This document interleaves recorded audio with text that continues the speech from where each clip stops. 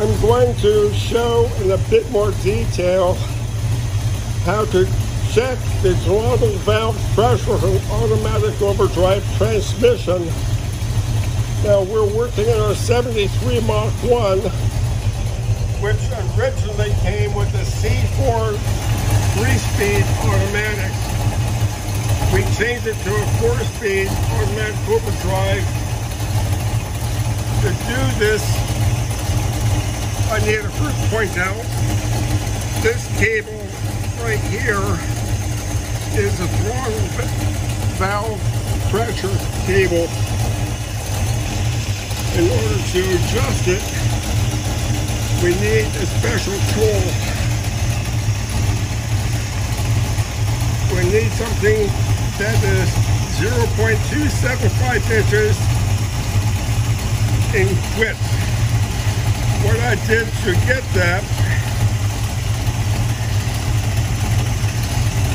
is I took a bolt, a nylon bolt, and on two sides, this side and this side, I use a flat file to file it until it's 0.275 inches thick.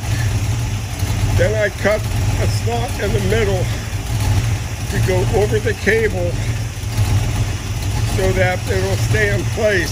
To make sure it stays in place, I have nut that still will run down on this nylon bolt.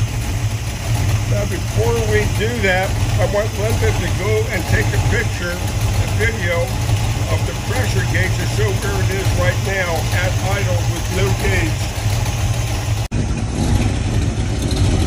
Okay, good. Okay, now stay there a time. Well, you know what?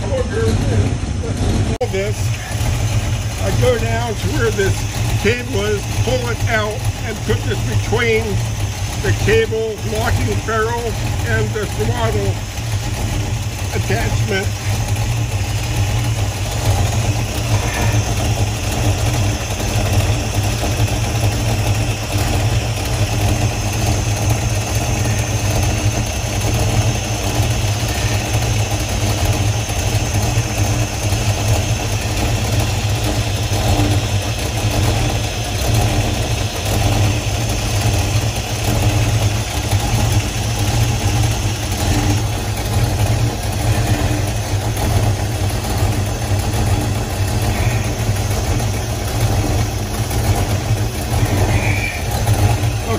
that feels like it's going to be fine.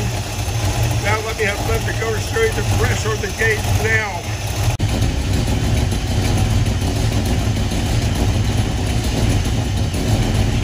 That shows about 40 pounds. Factory spec is 30 to 35 pounds per square inch. I want to buy a little higher because I want my ship point to be a little higher so I increase the throttle pressure. Now I had somebody ask me if there's a difference between the throttle pressure in neutral and park. I've always done it park.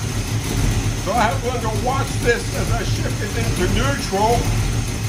I will call out when that's neutral, now put it back in park, and we'll see if it makes a difference in the pressure.